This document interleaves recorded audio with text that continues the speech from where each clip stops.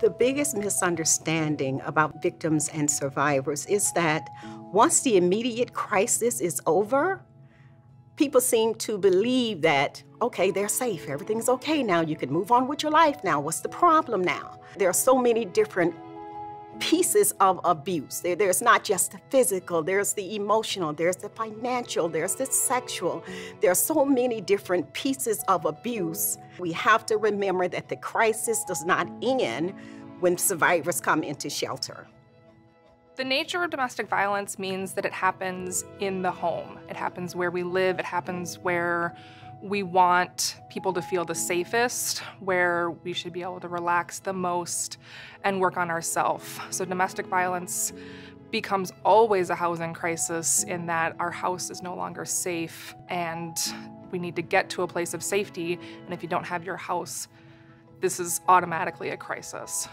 Because if you don't have a place to stay, if you don't have a place to lay your head at and be able to feed your family, you still have that stress. And it's hard.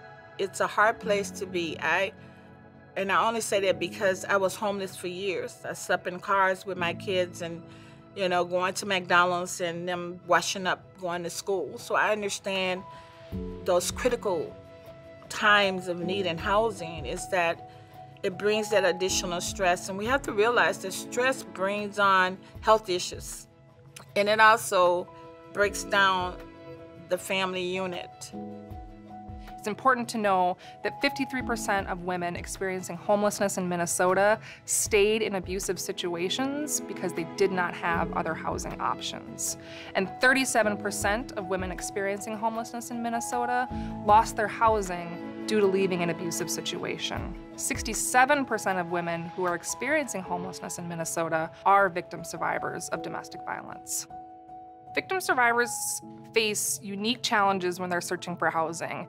In general, affordable housing in Minnesota is hard to come by. The stock is very low, incomes are very low, and that alone is a challenge. Survivors specifically are working on the trauma of their experience.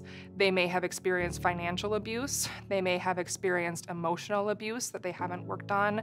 They may have experienced uh, abuse that resulted in them having a criminal charge. It may result in them having an eviction or poor housing history. Some of those can pile on top of each other and create a huge number of barriers that victim survivors experience when they're searching for housing. So we developed a program to work with women when they leave the shelter, which is, oh my God, so much needed. And along with that, having the uh, housing advocates to work with her to find housing as she's dealing with issues and reestablishing herself in the community. May need to go to court. She may need to uh, have her children going into the school system to deal with issues with her children and being able to have someone to help her through that process. In our aftercare program, we want to help women find a market rate unit that is ultimately going to be affordable and sustainable for her. And we will use up to $8,000 during that year to help with rental support.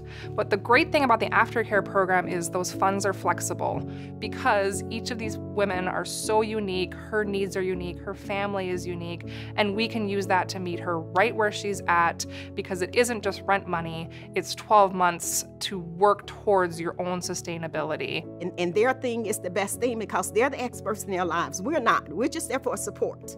But they are the ones who, who start the journey once they're out of that situation and they walk and we just slowly walk through them or sometimes we walk a little faster depending on where, where a survivor is in their journey but they are amazing survivors I was so blessed because I got Section 8 and it was in a time where I was able to find decent housing I got a decent job, and I got I was able to become a homeowner. So I was able to really spread my wings in an area that um, that was so critical in my life to get established with four children, four teenagers.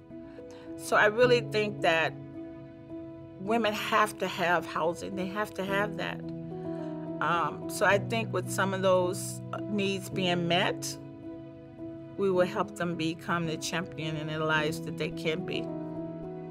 As housing prices continue to rise, I see more and more families struggle to make safe, decent, and affordable housing a reality. Even in the best of circumstances, it's not easy. But imagine trying to navigate the impossibilities of this housing market when your life has been turned upside down by abuse. Where do you go? How do you find stability? Domestic violence is a safety crisis, yes. It's also a housing crisis. We know that 67% of homeless women stay in unsafe situations because they have nowhere else to go.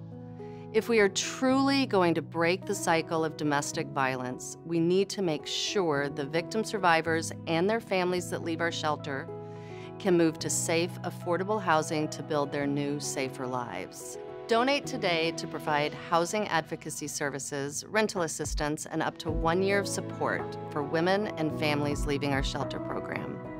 Be part of creating the stability necessary to break the cycle of domestic violence. Please support our housing and aftercare program today.